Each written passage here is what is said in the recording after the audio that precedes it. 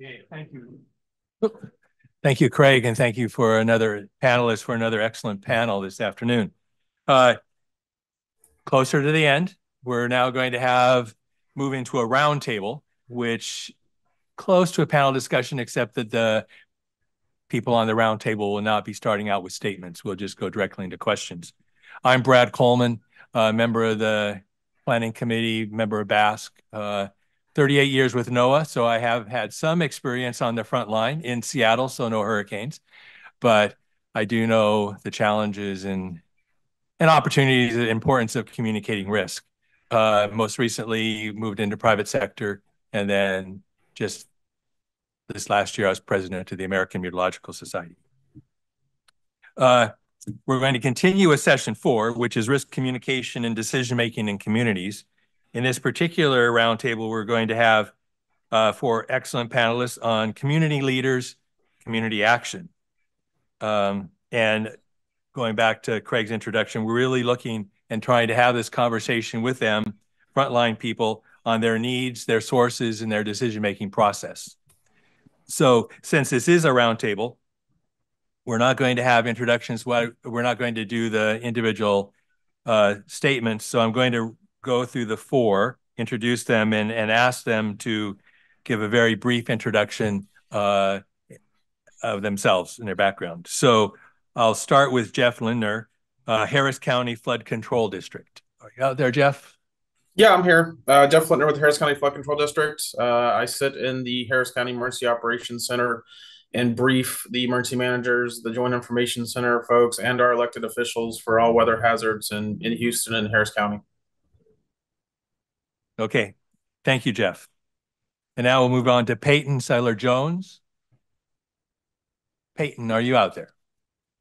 Uh, Brad, I'm sorry. We are currently trying to identify whether uh, Randy and Archie can join the Zoom. Um, and I believe Peyton is no longer joining us for this session. She had something come up.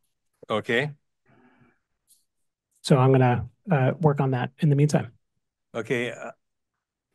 And Archie Chiasson is, do we know about Archie? We're trying to bring them in right now. Oh, okay. um, so if you want to get started with Jeff and then we'll, uh, okay. we'll update you. Okay. So this is going to be a small roundtable. Uh, thank you for your introduction, Jeff.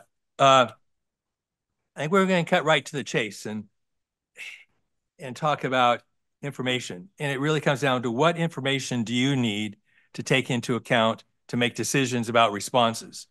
And I imagine the list is is huge, but sort of call out a few of the highlights that you think are really critical. And if you wouldn't mind, also maybe some that you'd like to call out that are are you really would like to have, but don't quite need it, just a nice to have. And then finally, everyone in the decision making process, the that watches warnings, making call to actions for the various local communities. At some point, you have to make that decision. And, and how do you get over that line of wanting a little bit more information or a little bit more time versus actually making the call? Yeah, good, great questions. And you know, I'll start with the, what what we use here to to base our decisions on and to brief our elected officials. So obviously, we're using the National Weather Service. Typically, for a hurricane event, we're getting at least twice a day briefings, um, sometimes four times a day, and also the information coming from the National Hurricane Center. So those those are the two primary sources of information for any sort of tropical hurricane type event, and and, and all the decisions we make are based on that information. You know the the the expected storm surge and and stuff like that with respect to evacuation. What would I like to see? Well, I think right now the storm surge watch warning goes out about 48 hours, which is also when we get our inundation uh, packet from the Hurricane Center. I know there's some effort to increase that to maybe 60 hours or so. So, just to give you an idea of what we face here in Houston, Galveston, uh, we have to start making decisions at 96 hours. So, the only thing we have available to us at that point is our uh, MOMs and MEOWs, and the, those are the predetermined maps based on category of what could be flooded um, from seawater. And and you know that's that's one of the things you know you just heard me use seawater. A lot of people have no clue what in the world storm surge is, and so we we sometimes have to dumb it down to saltwater, seawater. That's what we're talking about here. Um, and so we have to start making looking at those decisions at 96 hours, especially when it comes to ordering resources from our from the state. In Harris County alone, we need 2,400 buses to get 2,400 buses here in time to evacuate those that have signed up with our uh, system that they need assistance in evacuating or our critical needs, our, our nursing homes and our hospitals. We have to start that process at about 96 hours out. And so getting all that lined up, and if you think of 96 hours out, there's a lot of uncertainty in that forecast potentially at that timeline, at that time frame. And so yes, we are sort of making some initial decisions. Yes, that comes associated with cost. And cost always weighs in at some point on how certain are we to to start spending money um, that something's going to happen here and that we're doing the correct thing. And then about 60 hours out, between about 55 and 60 hours out, is when we generally make our determination and our decisions when it comes to the general public evacuation. Um, uh, we have a what we call a MAC call. It's a multi-agency coordination call with all the counties in the area to get the thought process of what our, our counties on the Gulf Coast are planning. Galveston, Brazoria, Chambers County, obviously they're right at the beachfront. And then what Harris County is planning, because we're this big bohemia of people that sit just north of all those coastal counties. And so if we go out and say, hey, we're going to issue an evacuation order before our coastal counties do, that creates challenges on our on our roadway systems and our freeway systems. And so we work together to establish the evacuation timeline um, and and the zones and the zip codes that we're going to call. And then we generally do that in a phased approach with the coastal going first. And we hold back if we're going to do all three zones, A, B, and C, like we did for Rita we hold back those B and C zones until those coastal evacuation zones have some time to evacuate out. And I'm, when I say hold back, there might be a six or eight hour stagger. It's not like we're waiting a day. That's another important thing with evacuation. I think a lot of people think, oh, we're making the decision at 6 a.m. this morning. By 8 a.m., people are going to be on the road. And that's really not the case. There, there's certainly a lag time between when an elected official or or uh, emergency manager calls for an evacuation and people actually process that information, begin preparing their house, uh, figure out the whole work situation, get the kids out of the school and all that type of stuff, and actually start moving. And sometimes that's a 12 or 24 hour lag time from when those decisions become public. And one thing we we've kind of realized here in our area, schools are a really really big uh, factor when it comes to evacuation. So we work very closely with our school districts on our timelines and hey, this is the plan for tomorrow. We recommend closing schools so people have that freedom to evacuate out of the area. Uh, a lot of those, a lot of those lessons learned came out of Rita. Um, Rita was a very significant high-end evacuation event for us that we had not tried uh, since Hurricane Gilbert here in 1988, and there was there was lots of problems with Rita. And one thing I think I think you heard this from the the Dare County uh, person there is is we're very similar here in the state of Texas. It's the local elected official, our county judge, and our city mayor who ultimately makes the decision on the evacuation orders. And so briefing those, making sure they understand the the threat we're facing, the uncertainty and threat. Um, because like I said, at the at the time we have to make those decisions, sometimes it, it's not hundred percent certain we're going to get the storm surge. You know, we're going to get the storm. And uh, a classic example of that was Hurricane Laura back in in uh, was it 2020 in Southwest Louisiana. We were right on the cusp of pulling the trigger for mandatory evacuation in Harris County. Galveston County had done a mandatory. Uh, we went ahead and did voluntary A and B. Virtually nobody left for that, but we were we were extremely nervous, and and the only thing that that kept us from pulling that trigger and going with the mandatory evacuation was that Hurricane Center forecast really never changed for about 48 hours. It kind of honed in Sabine Pass, Southwest Louisiana, and it never really deviated, even though the European models and, and, and, and all that were up Galveston Bay.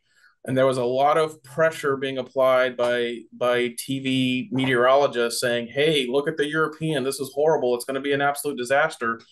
And we never really we just stayed with what the hurricane center was was going with we we spoke directly with you know our local national weather service office and, and talked to them about the confidence and they were very confident in that forecast track. And so, kind of a CYA for us is we did the voluntary for A and B, and we could we could have ramped it up to a mandatory if we needed to. Um, but it's just as important sometimes not to pull the trigger as it is to pull the trigger, especially when you're dealing with such large populations like we have here, four four to six million people that um, roughly about 1.5 to 2 million have to get out of the storm surge areas. And so having that having that you know good information um, and, and confidence really really helps with the evacuation planning um, and, and and trigger and trigger points. Um, I don't really know how to say this, but you know you're also dealing with you're, you're dealing with elected officials, and when you're dealing with elected officials, whether evacuation is sometimes not their top of top priority in, in in that type of stuff. And so not only you're dealing with elected officials in your own jurisdiction but you're dealing with elected officials from other jurisdictions. And for example uh, with hurricane ike back in 2008 galveston county was very very the city of galveston was very very very slow in pulling the trigger on the evacuation down there um, and that created a, a real challenge for us because we kept delaying hoping that they would pull that trigger so we didn't trap all these people on the roadways down that way. Um, and finally, we had to get, you know, it was very direct language that if you don't do this in the next six hours, um, you know, we're gonna, we're gonna, we're gonna go. And so there, there comes, there comes that timing. And, and one thing, if you, if you think about the decision process, because I think a lot of people think the evacuation decision process is relatively easy, right? You follow, you follow your guidelines, you follow your rules, you follow your policies, and you pull the trigger but it's nowhere near as, as easy as it as, as that sounds in real time. And and one thing I've noticed is when the storm is a category three or category four or category five out in the Gulf of Mexico, for example, Rita, the the decision's a lot easier than if it's a tropical storm coming off Cuba and the forecast is for it to become a big storm in the Gulf of Mexico. We saw that with Ida, we saw that with Laura, we saw that with Ian and so those emergency managers and those decision makers are, are basing their entire decision on a forecast. And there's just this thought process in the back of your head of I just don't know if I believe the forecast. And and that's where we kind of get into when we don't already have the big hurricane coming down on us like we had with Rita. Okay, great. Thank you, Jeff. That's a great introduction to the, the session. We do have an additional panelist now. And uh, my understanding is that Archie Chiasson is out there. Is that true, Archie? Hey guys, how are y'all? Hi. Uh, let me introduce Archie. He is, I believe, president of the Lafourche Parish government. That's that's me. Uh, we're Lafourche Parish government down here on the coast of Louisiana. Um, and, and and and Jeff Jeff I think hit hit a lot of stuff on the head when I when I caught the back end of of, of his deal. It's uh these decisions are not always easy for us as elected officials and, and emergency managers. So uh, those things get a little sticky from time to time. Yes, they do. Uh, maybe we'll do so. Yeah, why don't we go ahead and go on to the next question and I'm sure we can get back to some questions for Jeff. So what I'll do is, Archie, I'll ask you the next one, which is getting back, uncertainty has been mentioned a number of different times, sort of both sides of the coin here through the day today, importance or not of, of communicating uncertainty. Uh, could you share with us what role does uncertainty play in this process that you play in, and, and what needs do you have on uncertainty and, and coming right down to actually how do you communicate uncertainty to your your stakeholders? Yeah, you know, it, it gets a little tricky when you think back, like the, the history of these five day forecasts were really invented by the Weather Service. So the Navy had five days to get in and out of out of ports, you know, so they were able to either move ships in or get ships out of the way. So, you know, when we look at those five day tracks, th- there is a whole lot of uncertainty in them, right? We uh we, we try to do the best they can, and, and I know those guys do the best they can with the, with the forecast, but you're trying to communicate that uncertainty to our residents is is very difficult, and especially on the on the Gulf Coast and, and, and here in Louisiana. You know, Lafourche Parish is 100 miles long, by 53 miles wide. You know, we touch the Gulf of Mexico uh, at the very bottom of us, and and and have Port Fourchon, which services you know about 100 percent of the deep water energy industry out out in the Gulf. So we, we have people from you know that touching water all the way in the south end to, to all the way up in the upper ends and and historically some of these people go well you know, I've, I've lived through Betsy or I've lived through Camille or I've lived through whatever the name storm is that you want to throw in there. And, and our house is never going anywhere. We've never had an issue. We've never flooded. Uh, so you run into that roadblock, right? And how do you communicate with that older generation who thinks that the structure they're in is is never going to go anywhere and they're safe no matter what the category the storm is, all the way to, to, to people, you know, what I will say my age, my age and a little bit younger who, who are just in the family roles, right? I'm, I'm 38 the first hurricane I remember was was Hurricane Andrew back in the mid the, the early 90s. And I remember riding out with my parents with the mattress over my head with my brother in the under the kitchen table, right? So you have these first time folks who have never really experienced a, a, catastrophic, you know, catastrophic storm. We don't remember the Betsy's of the world. We remember Andrew and you know, even Katrina for us in Lafourche Parish was was not that big of a deal. So wind event, we had a little bit of damage, um, but was not nearly what, what New Orleans and the Mississippi Gulf Coast saw. So, you know, you fast forward to hurricane, the hurricane season of 2020, right? We were in that cone of error seven different times. I signed seven different emergency declarations uh, for those for those different events, and each time the storm would either jog left or right, a little bit of wind, a little bit of water in the lower part of the parish. Uh, outside of a hurricane protection system, you know, LA Highway 1, which goes all the way to Port Fourchon, uh, is an unelevated highway for now for the majority of it. Um, so we would shut down the roadway, the storm would go east or west, and then nothing would really happen, right? So we fast forward to the hurricane season of 2021, and here comes Hurricane Ida, right? We went from what we thought was going to be a category two, maybe a category three storm, maybe a little bit east of us or a little bit west of us, was setting up to look like another Hurricane Andrew. Um, people were not really that that worried about it. Uh, and I never forget, you know, it was slated to hit, you know, Saturday and the Sunday. They backed up the forecast where it was going to be Sunday and the Monday. Uh, and I'm in our emergency operations center, and and and one of the the folks come find me, and they said, "Look, the the weather service is on the call on the phone for you."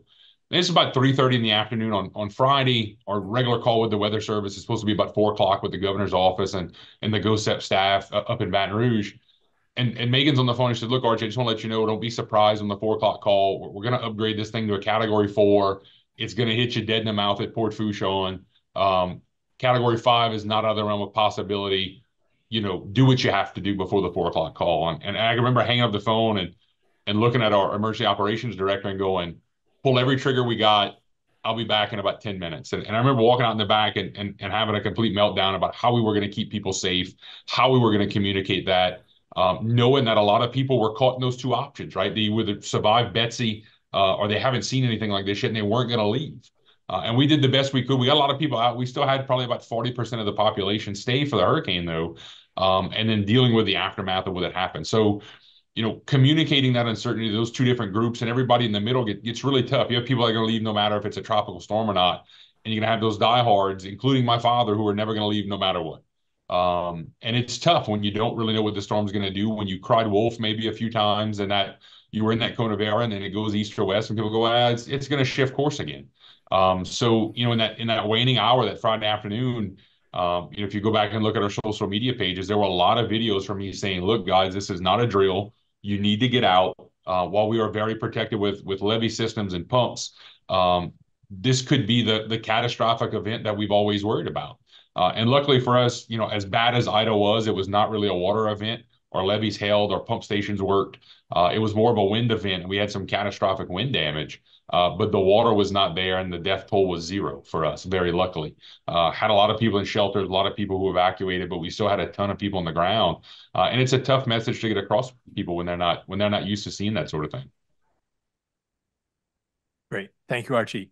Jeff, do you have anything you'd like to add on uncertainty before you know it's it, it's a it's exactly what he said when someone picks up the call from the National Weather Service, the National Hurricane Center, and said this this is go- this is going to happen that somewhat helps remove that uncertainty. And you can tell by the language ramp up, both by the National Weather Service and by us, emergency managers, the seriousness of the situation. So there becomes a point where we're we're confident enough to say this is going to happen, and we can come out with some very strongly worded uh, messaging and news conferences and stuff like that to hopefully get people to to listen.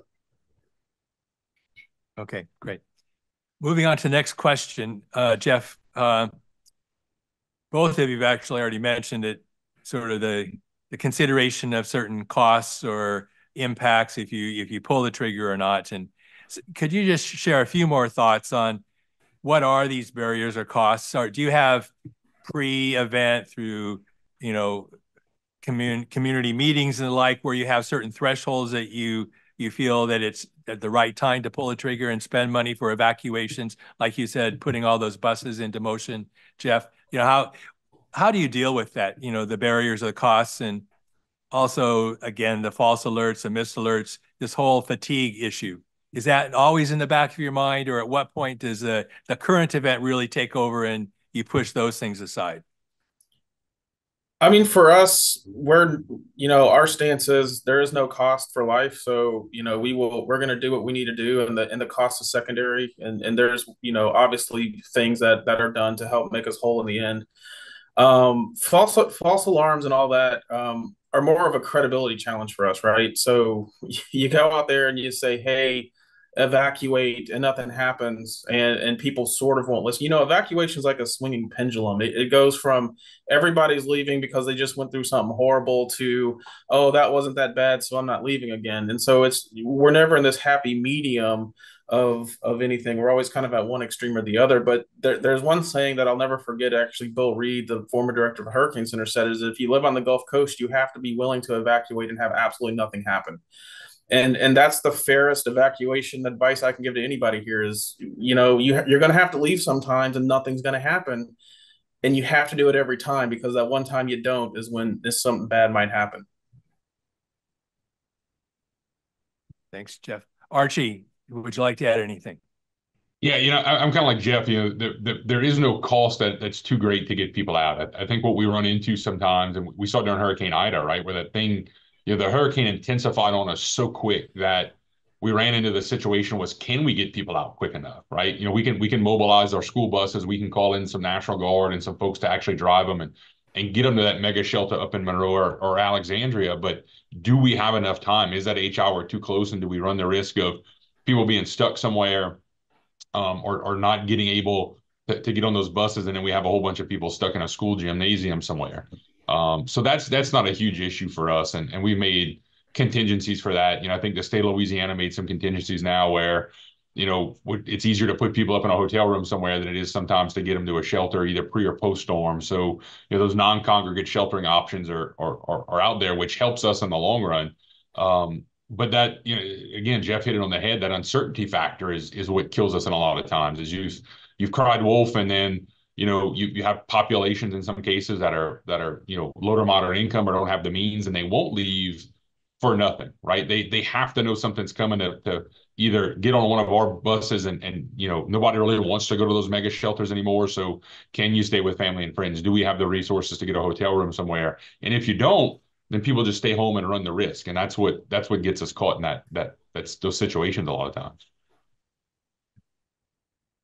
So let's continue with you archie uh, what special actions or planning do you do to deal with, I'll call environmental equity, knowing that you have certain populations that are more vulnerable uh, to their exposure or their lower income, or how, how do you handle those situations uh, both in, in planning and in real time? Yeah, so so from a planning standpoint, you know, a, lot of our stuff is built around these H hours, right? When when the storm enters the Gulf, you you, you start that clock and you tick backwards until you, you hit landfall, right? So you know, our, planning and our evacuations are, are, are based on, you know, proximity to the coast. Um, and in a lot of cases, as you get deeper into our parish, uh, and as you get deeper into, I think all of coastal Louisiana, those those incomes somewhat change, right? The the the lower income people a little bit further south, while there's still some wealth down there, you, have a, a higher poverty level down there in, a lot of cases than you do um, as you get away from the water. Uh, mostly because those people are are still oil and gas dependent, uh, job related, or um, they're in the seafood industry or something like that, and those aren't always the best the best paying gigs around, right? So, you know, we we plan those things out in the way where we start from the bottom and and and work our way up. In a lot of cases, you know, when we call that first evacuation outside of the hurricane protection system, there's a very small community down there, so we know they're going to shift up. A lot of times, that first run, they they go to family and friends in the in the upper part of what I will call the upper part of South Lafourche or the upper part of the coast. Um, and then they'll slowly migrate up based on that evacuation. Um, a lot of cases, we'll, we'll we try to work them in the shelter first. We have a couple of schools that are Category Four rated that have generators that we know we can keep people in for for a few days if we have to, and and bring in the Red Cross and other um, other nonprofits who will take care of them and provide food and as long as they have some medicine and a book to read, then they're pretty okay at that point um, because they have power, they have a bathroom. Uh, it's just a matter of staying comfortable till you can get back get back home and, and see what the damage looks like. Um, and then in some cases, we've actually, you know, like I said, we've used that non-congregate option uh, and actually used some hotel room stays. If we only had a few people, uh, depending on the intensity of the storm, like Hurricane Zeta at the end of 2020. Uh, but when you have a mass incident like Hurricane Ida, um, or you talk about Ian or or, or you know Harvey, especially um, in Texas with with the flooding, you just got to get people out of there, right? You're putting them on buses. You're using every available opportunity that you have or the state, regardless of means, to get them to that mega shelter and get them out because you know that's the safest place that they could go. Okay, thanks, Archie. Jeff, do you have anything you'd like to add regarding environmental equity and planning and and taking action? Yeah, we spend a lot of time doing um, presentations and working with um, local leaders, especially church leaders in, in, in, areas to, to make sure people, if they don't have transportation, to sign up with 211. So we know that we have to go to this address and pick these folks up. Um, and, and that has worked relatively well, except the, the only problem here in Texas is you have to redo it every year. So you have to sign up every year um, and, and getting that word out and everything like that. Um, you know, one of the biggest challenges I think sometimes we face here is is people think they have to drive 500 miles to get out of the hurricane, and you know, evacuation is just to get you out of the seawater. Uh, it's not to get you out of the wind and all that. And so, you know, you could drive 20, 30 miles and be perfectly fine. Yeah, it's not going to be nice and great, but you're going to be safe. You're not going to drown in the seawater. And and I think that's that's something that we don't push enough here is is just getting just getting out of that seawater. You know, you can go to family and friends that are just a little bit inland. That takes that financial burden a little bit off. You know, you don't have to go get a hotel room in another city in Dallas or San Antonio or something like that.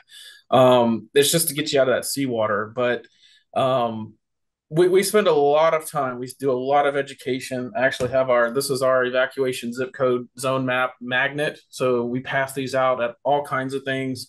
So if you don't know if you're abc or whatever you know your zip code and, and that kind of tells you and we pass that out and and people take it. Um, but it's it, it, it kind of seems like for all of the information we do during the year no one really pays attention to this until it's happening right? And, and i think you see that with a lot of the hazards and there's this mindset of kind of like what Archie mentioned oh it's going to miss us it's, it's going to go over here or it's going to go over there uh, it's not going to hit us or it's not going to be that bad um, and that mindset really got us with Ike out on the Bolivar Peninsula. People did not leave, and 900 people had to be airlifted off of Bolivar um, as a storm surge was coming in. And so, you know that that that lesson was learned for a lot of people, unfortunately.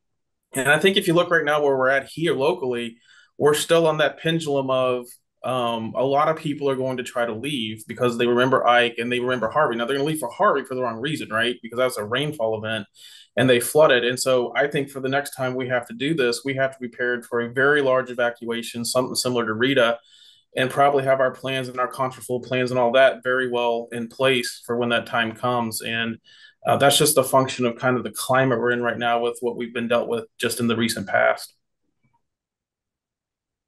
Okay, thanks, Jeff. If we have maybe time for one more question for Archie. I think we heard earlier, Archie, from Jeff, maybe before he got here, sounded to me like high on his wish list would be a longer lead weather forecast from the Weather Service. How about you? What's sort of the top of your wish list uh, to make your job and, and making these decisions easier or more productive for you?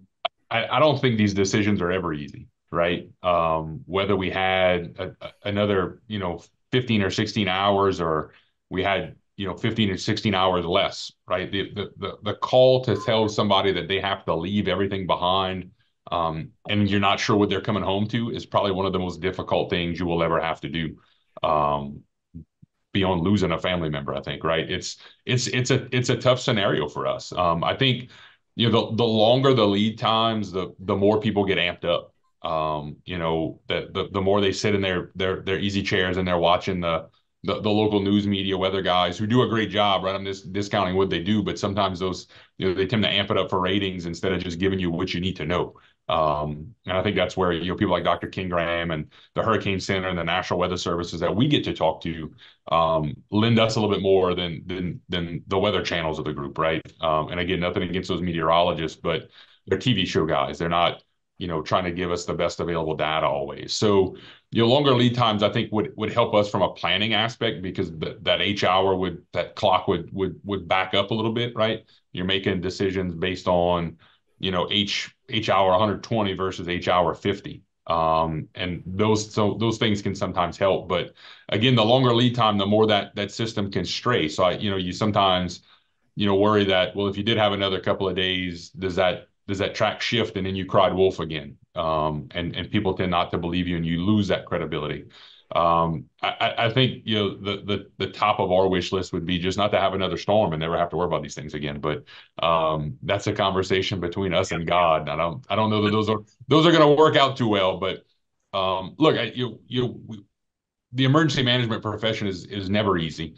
Um, and we have to trust our guts a lot of times. We have to trust the fact that our plans are in place, and we've a lot of us have done this before, right? Like I said, I, I remember Hurricane Andrew, um, but since 2011, I've been through you know multiple storms. Um, unfortunately for me, the you know Ida, the worst one that we've ever seen here in Lafourche was was under my watch as an elected official. But you know, we the, the, the team that we work with has been here for decades, so it made decision planning, you know, decision making and planning a little bit easier because we'd run these drills, we'd run these tabletops uh, for, for many years, so we knew what we were getting into. But uh, the effects are always different, um, whether it's wind versus water or water versus wind. Makes your response challenges and and your planning just that much more that much more different. So um, let's just hope we don't see any more storms along the Gulf Coast or any anywhere for for a very long time, and uh, none of us have to worry about making these decisions, right? Good way to end the discussion. Please join me in thanking our excellent pursuit chef and our teams.